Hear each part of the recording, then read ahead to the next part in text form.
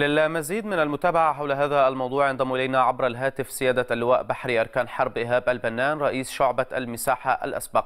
سيادة اللواء أولا بعد التحية الغواصة إس 43 تتسلمها بالأمس القوات البحرية المصرية.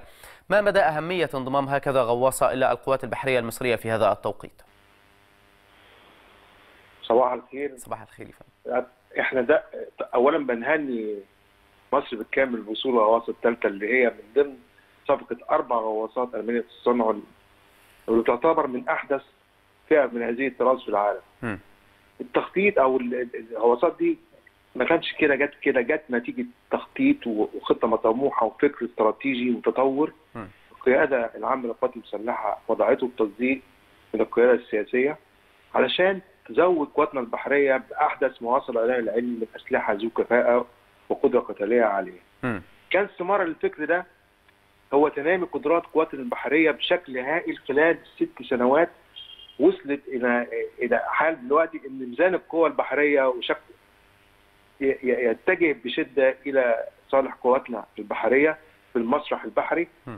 الحمد لله إحنا دلوقتي من أقوى بحريات المنطقة عندنا أسلحة متطورة هجومية قادرة على التعامل مع أي تهديدات تقع على مكتسبات جمهوريه مصر العربيه. م. كان هذا ركيزه التطوير ده الغواصة الغواصات الحديثة. م. الغواصة الحديثة ليه؟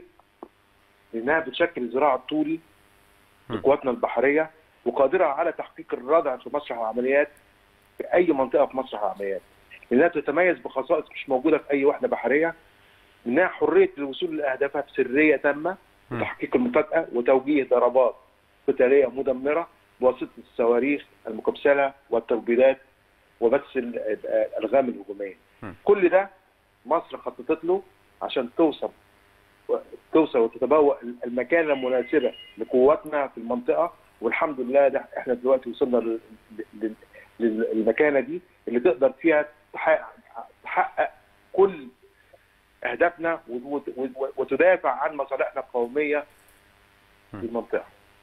تمام. وصلت الرسالة بشكرك شكرا جزيلا. سيادة اللواء بحري أركان حرب إيهاب البنان رئيس شعبة المساحة الأسبق على هذه التوضيحات.